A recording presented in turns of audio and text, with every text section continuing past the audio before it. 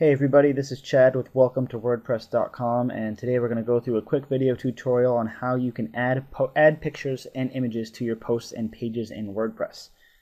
Now, you can see here that I have my uh, post already written. It's actually this is the tutorial that goes along with this video in the private video library, but I have a couple of images I want to add to this post. It's pretty easy. First thing you have to do is select where in the post you want the image to appear. Now I want my first image to go to the right of this paragraph right here. So I'm going to select the beginning of this paragraph. The fact that I want it on the right doesn't matter right now because with left or right aligned images you can um, select that later on in the process. Next step is to go to the upload insert buttons list right here. And the one you want to click on is this one. It's the add an image button. So when you click on that, it brings up the add an image window. Now, there are three tabs along the top here. There's From Your Computer, From a URL, and the Media Library. We're going to use the From Computer tab today, but we'll go over these other two real quick. From URL is pretty straightforward. You type in the address on the internet where the picture resides, then you add an image title. That's going to be what displays in your media library and also what will show up when you hover over the image with your mouse. You can add a caption. That's going to be the text below the image. It's also what WordPress puts in the, um, the alternate text for the image if it can't be displayed. The alternate text is also what um, Google will look at when it when it indexes your page, when it crawls your page, it'll look at the alt tag for that image to get a feel for what the image is a picture of. So keep that in mind when you choose your image captions as well. We're going to go over alignment and a little later on, but then the link image to field is if you want this picture to link to another website, you can put that address in here, or you can leave it blank if you don't want this image to serve as a link for anything. The third option was the media library. If you click on that, it brings up all the pictures in your media library. You click on show next to an image and it will show you all the options that we're going to go over in a few minutes. And then down here there's an insert to post button. For now we're going to go back to the from computer tab to upload a picture from my computer. Now just click on the select files button. That is going to bring up a select files box where you can navigate to the folder on your computer where your image is stored. I want this one right here, so you just select it and click open. It's going to upload the image. Usually image uploads are pretty quick. It will vary depending on the size of your picture. Now personally, if you have a large image, I recommend shrinking it down to the size you want to use before you upload it for a couple of reasons. If you can do that, it will, um, A, it'll help your upload speed, which isn't really a big deal because usually images are fast, but it, that is a factor to consider. More importantly, smaller images will take up less space on your server um, and they will load faster when people visit your page. So depending on your hosting program, you may want to keep that in mind and shrink your images beforehand if possible. If you can't do that, um, you can do it later on and during this process, and I'll show you that as well. Once you've uploaded the image, it will give you all these options that you can um, edit. These are also the options that would show up in the uh, media library when you click that show button I showed you earlier.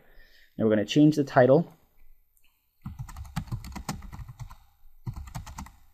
And again, the title is what's going to appear when someone hovers their mouse over the image, and it's also how it will be listed in your media library should you need this image later. So it's a good way to keep track of what your images are. The caption is the alternate text that will display if the image isn't available for your, uh, for your reader for some reason, and it's also what will display beneath the image itself. I'm going to add the caption in here. For this one, the caption is going to be the same as the title. That won't always be the case. I'm not going to bother adding a description, but if you wanted to leave yourself a note, a description of what the what the picture was for um, just the purposes of organization, you could do that here. The link URL field is if you want to use this image as a link, like I talked about before, you can type the web address in here. Now, these last two sections are important. There are uh, four alignment options. There's none, left, right, and center. If you choose none, it's going to put the image wherever you clicked your mouse. If you click the mouse right in the middle of a word before you click the uh, media upload button, then it's going to stick that image right in the middle of that word. If you choose center, it's going to put the image in the middle of the post, and it's going to split the text. Wherever you had your cursor, it's going to put the text above and below the image, with the uh, image centered in the middle of the page. Then left and right are pretty self-explanatory. It'll float the image to the left or the right, but it will wrap the text around that image. And that's what I'm going to do now. I want mine over on the right-hand side, which, I, which is what I've selected. When you choose left or right, it's going to place the top of the image at the line that you had selected. So whichever line you choose, that's where the top of the image is going to be. The size is the last option. It has a number of preset sizes. You can only use one that's smaller than your actual image file. I um I the image this image is smaller than the medium and large option, so they aren't available for me right now. But um, I could choose a thumbnail if I wanted to shrink it a little bit more. Now that I have the size and everything all set up the way I want, I'm just going to click Insert into Post. As you can see, my image is right next to the paragraph I selected, and it's floated to the right like I wanted it. Now I'm going to go ahead and add another image really quickly. I want this one to be right here. And this one's just a picture of the window we use to add the actual image. So again, I select Files, choose my image, click Open. I'm just going to enter my options real quick here.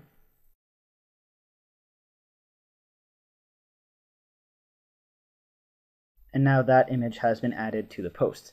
Now, as you can see, it's pretty big. I don't really want it to be that big, especially since the uh, window on my actual blog theme is narrower than this. I'll have no room for text on the side, and I don't want I wouldn't want to call them this narrow anyway. So let's say I wanted to shrink this image, but I didn't want to use one of the preset sizes available. If I click on the image, it gives me these two buttons, one for editing and one for deleting. Click the edit button, I can now change some of the options like um, the alignment, the title, the caption, the link URL. I'm going to also use these up here to change the size in 10% increments. Now, you can't stretch the image any bigger than it is right now. It won't let you do that because when you stretch images this way, they don't come out looking good. You need to use specific software for that. And also keep in mind these 10% increments are um, relative to the image's current size right now, not necessarily its full size. So if I were to shrink this and then come shrink it again, the next time I come in, it'll be going down to 90% of the size it was at at that time, not the full size it is right now. So I'm going to shrink this down to about 70%. And when I'm done, I will click Update.